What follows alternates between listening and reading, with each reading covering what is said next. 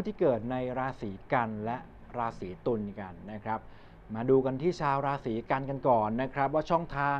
เปิดดวงรับทรัพย์ของชาวราศีกันเนี่ยจะมาจากช่องทางใดกันบ้างนะครับ มาติดตามดูกันนะครับ ผู้ที่เกิดในราศีกันนะครับ จะมีช่องทางเปิดดวงรับทรัพย์ที่โดดเด่นนะครับ มาจากความรู้ความสามารถของตัวเองนะครับ แล้วก็ความขยันขันแข็งความกระตือรือร้นนะครับ ยังไงใครมีความขยันขันแข็งความกระตือรือร้นนะครับ สามารถที่จะได้ทรัพย์เข้ามาค่อนข้างเยอะนะครับ เช่น ใครหยุดพักเราไม่หยุดนะครับ เราไปทำงานหาเงินไปติดต่อเรื่องการค้าธุรกิจนะครับ หรือว่ารับทำงานพิเศษแบบนี้เป็นต้นนะครับ ก็จะเป็นช่องทางรับทรัพย์ช่องทางหนึ่งของชาวราศีกันนะครับ นอกจากเรื่องงานแล้วนะครับ ใครที่มีปัญหาเรื่องสภาพคล่องด้านการเงินนะครับ หรือว่ายังหมุนเงินไม่คล่องเนี่ยจะมี แรงช่วยเหลือนะครับปัจจัยสนับสนุนนะครับ เช่นคนที่ติดเงินเราอยู่ ไม่มีตังค์มาคืนเลื่อนผ่อนชำระอะไรต่างๆเนี่ยเราไปสอบถามไปทวงถามเขาเนี่ยนะครับเขามีโอกาสที่จะทยอยทยอยคืน หรือว่ามีการคืนเงินแบบกระเตื้องขึ้นมาบ้างนะครับ ปัจจัยเรื่องที่3นะครับ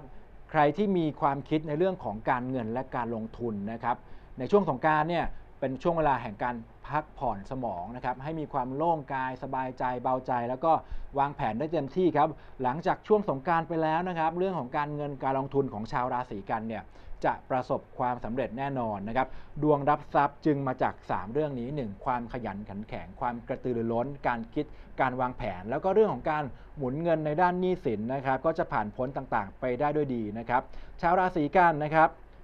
ยังไม่ได้มี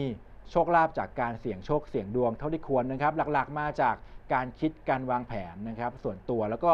ความสามารถนะครับความขยันขันแข็งนั่นเองครับนั่นคือดวงรับทรัพย์ของชาวราศีกันนะครับ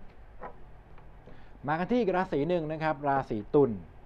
มาเปิดดวงรับทรัพย์กันนะครับ ในช่วงสงกรานนี้ ชาวราศีตุลนะครับ จะมีดวงรับทรัพย์จากคู่ค้านะครับ เช่น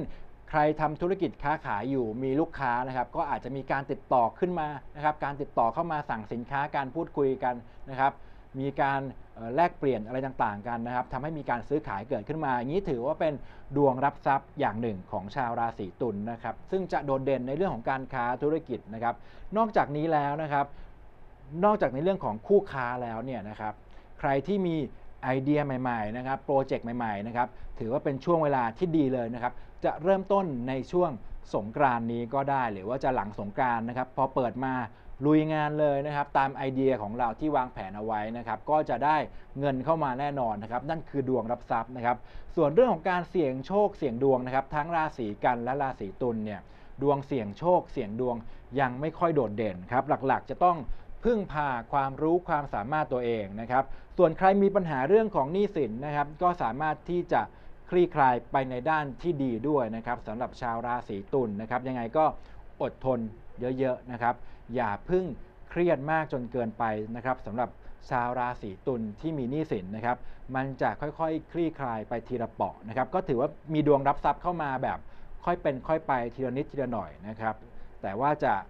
ผ่านพ้นวิกฤตต่างๆ ไปได้ด้วยดีนะครับที่สำคัญก็คือไอเดียของท่านที่มีไอเดียดีๆนะครับในการลุยงานนะครับจะประสบความสำเร็จแน่นอนนะครับ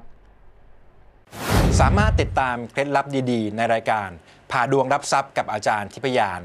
ได้ที่ YouTube ช่องไทยไทย Channel อย่าลืมกดไลค์กดแชร์และกด Subscribe กันด้วยนะครับ